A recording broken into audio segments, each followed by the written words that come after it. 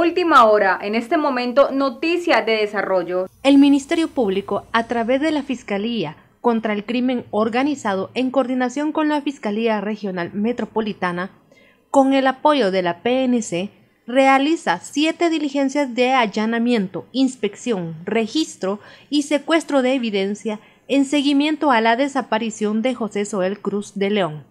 Hasta el momento hay dos personas detenidas acusadas de plagio y secuestro.